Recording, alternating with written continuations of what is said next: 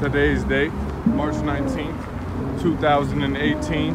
Currently walking against traffic. And it's crazy because I have $3.42 in my bank account. It's not affecting me one bit. There's literally nothing that the universe could do to me right now that could break me down anymore. I already am walking firmly in faith. I'm already walking firmly in belief. Thousands and millions of lives will get changed over the next five to 10 years. Just so grateful for this.